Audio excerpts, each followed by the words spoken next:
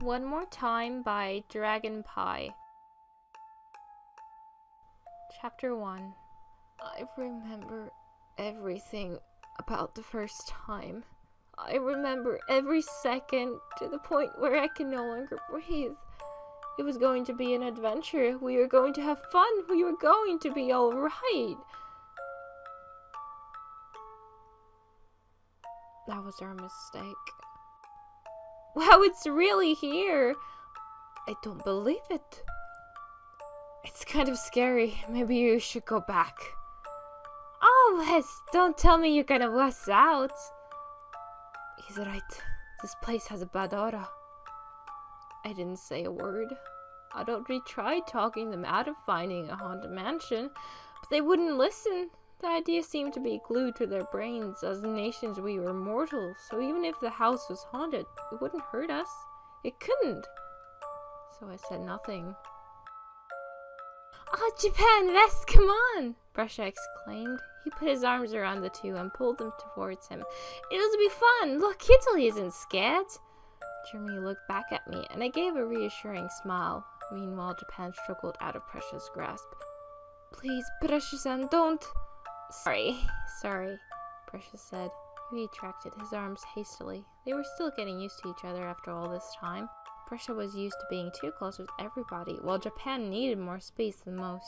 Japan sighed once he was given his space. He took out his phone and played the message China left him a few hours ago.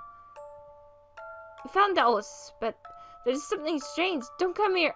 America! Oh, we have to go. Please be safe, Japan. Do you think something happened? Germany asked. No, it seems America-san got ahead of himself, Japan said. Yeah, they're probably going to try scaring us, Prussia added. We're not going to fall for that, right, Ita? Of course not, I said. Both Germany and Japan seemed placated by my enthusiasm. After all, if I wasn't scared, then what business did they have being anything but calm? That was Prussia's plan all along, and I knew it. But I couldn't help going along with him. The others wanted to have fun, and I couldn't stop them. Prussia led the way to the door, and I hung back. China seemed genuinely worried in that voicemail, and when England called out to America, it sounded serious. Maybe they were both trapped like I was, trapped by some impenetrable force of fate. The door was heavy and it creaked as Prussia pushed it open. The heavy smell of dust and rotting wood sunk in as we took first steps inside. There was no time to take in our surroundings before the door slammed shut behind us. The sound of plates breaking came from the end of a hall to our right. A dim light could be seen glowing beneath the door there. Immediately, I tried to bail. I turned towards the door and tried to yank it open. When it wouldn't budge, I banged my fist against it. I want to go home now, I cried. This isn't fun anymore. I quit. Hey, come down, would ya? Prussia's strong hands gripped my waist and pulled me back from the door. It's okay, we're not getting scared. Right, Tita? He gave me a pointing look, and I took in a deep breath. Right, I said. It's probably just America turned scared, so what do we do now? It may be wise to run, Japan said. He was pointing to the end of a corridor in front of us. At the end, shrouded in flickering light, was a monster. It was blue-gray with big black eyes. Its head was swelled and misshapen, along with its grotesque body. It had sharp claws extending from lumpy fingers and sharp fangs protruding from a lipless mouth. To hell? Prussia breathed. So it was true, Japan muttered. I need to find China. Japan marched up the stairs without a second glance towards the beast. He didn't run, but walked incredibly fast. Germany bolted right after, looking incredibly pale. West, wait up! Prussia called. We shouldn't get separated! You guys, don't leave me behind! I screamed. The monster was slow. It took loud, heavy footsteps as it advanced towards me.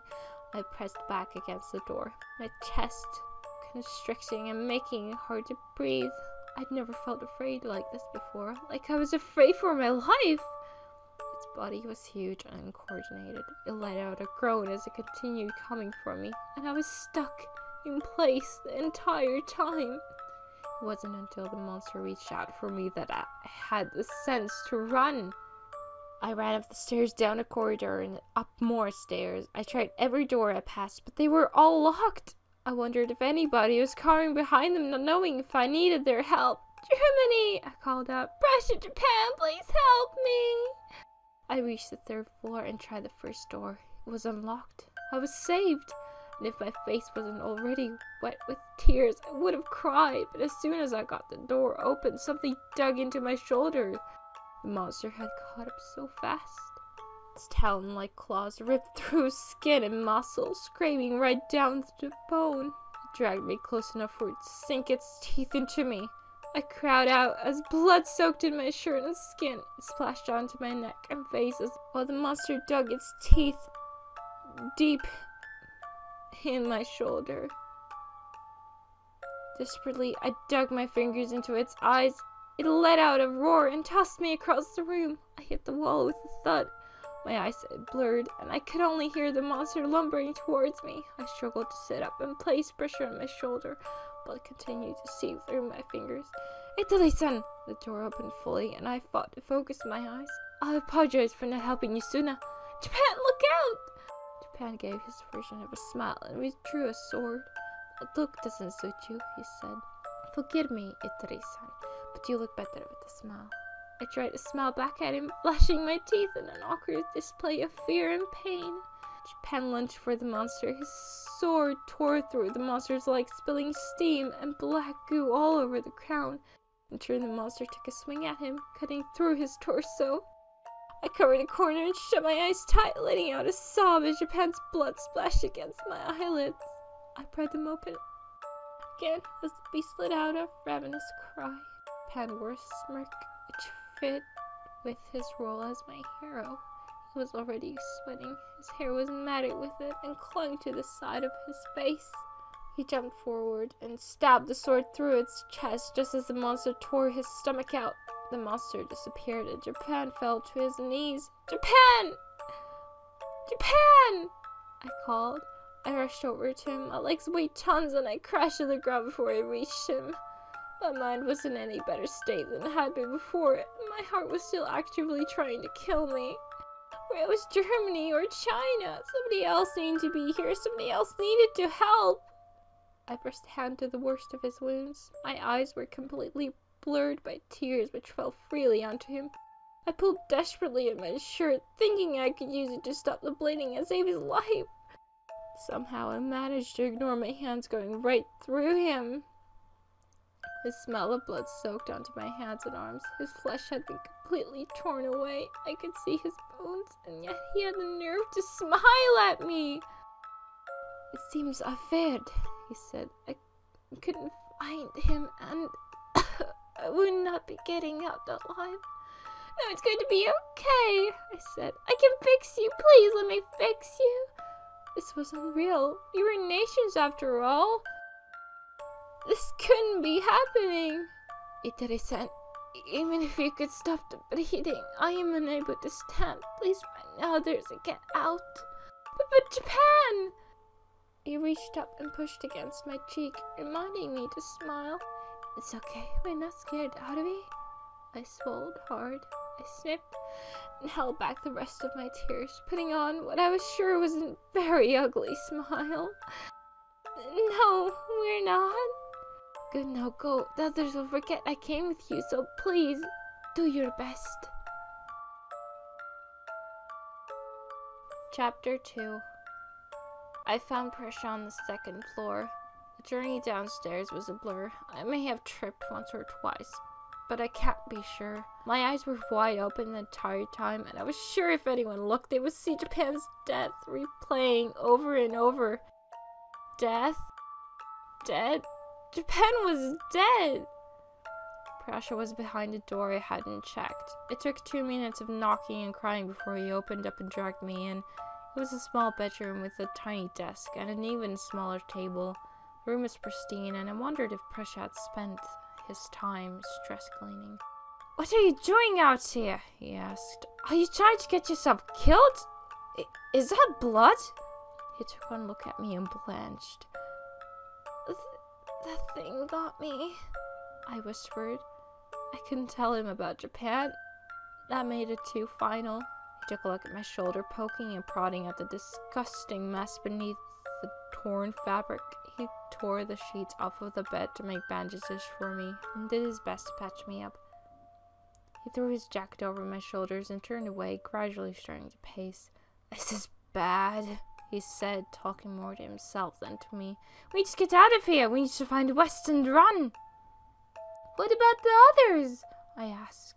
What about them? They'll be fine without us, me to protect them. It's you and West I'm most worried about. I hadn't found Germany or any sign that he was okay. If he was dead, how would Prussia react? My own stomach lurched at the thought of finding his bloodstained remains in some far-off part of the house. Have you found anybody else? I asked. No, I've been here the entire time. But I found this key, though. He held a rusted iron key in front of me. On the end, the number two was etched into the metal. What does this mean? I asked, running my fingers over the key to make sure it was real and not a false sign of hope. Well, it opens this door, but this isn't the second room, so it must be for the entire floor. Shared the same look for a second. Did either of us dare leave the safety of this room? I was already so scared, but everybody else was still out there. I had to be brave and stronger. I'd taken Japan's sword with me in case I ran into trouble. I had to be strong like him. I took the key out of Prussia's hand and marched out the door. He followed me with an almost maniacal laugh, and we got started. We checked every possible place in every room we came across, but still were empty-handed. Completely searched two rooms before coming to a third close to upstairs, which kept locking as soon as it was unlocked. Prussia spent about a minute going back and forth with the door before I tried knocking. Hello? Is anybody in there? I called The door opened, the tiniest fraction and France poked his head out. Go away, he said, and shut the door in our faces. I fast, he's being a coward, and let us in. None. Prussia banged his fist against the door. If you don't open this door, I'm going to bust it down. Then I'll put it back up, France insisted. Then I'll bust it back down, and I'll put it back up. I actually smiled. Their squabbling was so unfitting of this place. If I closed my eyes, we were back at the world meeting, and nothing was different at all. But I had to open them again when Prussia pushed me aside and called out, Stands back! He growled and took a step back, then took a run at the door, only for France to open it right before a collision. Prussia tumbled into the room and hit the large table there. Oh, Italy, are you injured? France asked. He began to poke at my poorly bandaged shoulder and the gooey mess beneath it. I'm okay, I said. The remnants of my smile seemed convincing enough for him. Good, good. We should try to get out of this horrid place now. I'd like to get back before the world starts missing my beautiful face. France, you dick! Prussia groaned. He stumbled over to us while clutching his side. Did you at least find anything useful? find anything. I've been too busy hiding from that beast to be looking for clues. You're the least important here. You find us a way out. I cringed at that remark and a resulting outraged screech from Prussia. I knew they could argue for hours on end, and if I waited that long, we would all be eaten. I knew they would be right there when I got back, so I continued on upstairs.